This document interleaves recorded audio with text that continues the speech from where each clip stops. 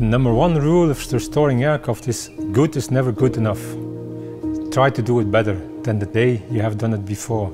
Try to prove yourself that you, you can do it much better than before. And sometimes it succeeds.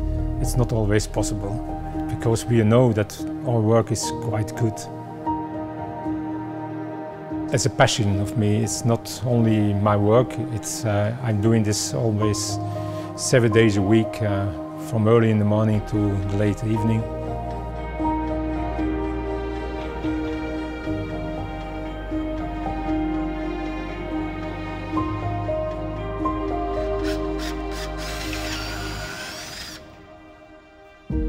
The main challenge of restoration work is trying to keep the plane as original as possible.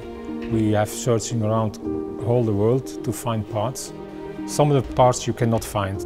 If a spare part is missing, we can 3D scan it and reproduce a part. So, for example, if we have uh, an engine cowling, which means a cowling that fits over the engine, we can use it from an existing aircraft make a 3D scan from it and to reproduce it with fiberglass. That is a way uh, what we should be able to do in the future. Precision and quality of our work is the main, one of the main things.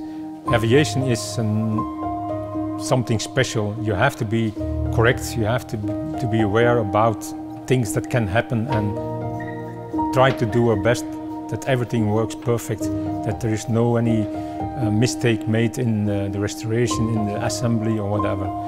So this is a, a main thing. It's, um, you're creating something. You start from a few parts, build it up, and suddenly you see how it comes in life.